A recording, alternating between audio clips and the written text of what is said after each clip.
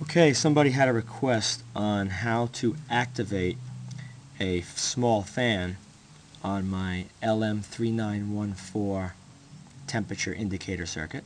So I put the schematic together to show how to do that. Alright, the circuit's going to work like this. You removed the LED from pin number 10. You remove the LED from pin 10 and you replaced it basically with a PNP transistor. The PNP transistor turns on when the base goes to ground. So you have 12 volts flowing into the emitter.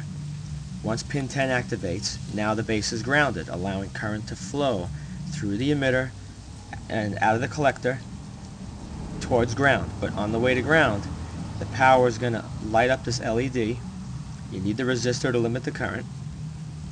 And at this point right here, between the collector and the LED, you're going to have a diode. The purpose of the diode is to allow the current to go one direction and not this direction. So as the circuit is activated, the current will flow through, charging this capacitor, which in turn will slowly bleed down through this resistor, keeping this transistor turned on the whole time. When the voltage gets really low, the fan will click off.